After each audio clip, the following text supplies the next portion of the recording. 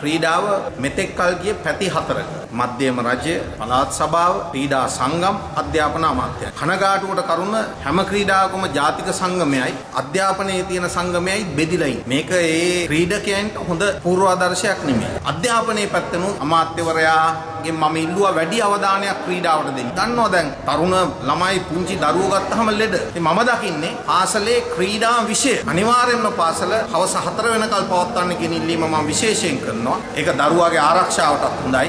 ඒ වගේම තමයි දරුවාගේ අනාගතයටත් හොඳයි.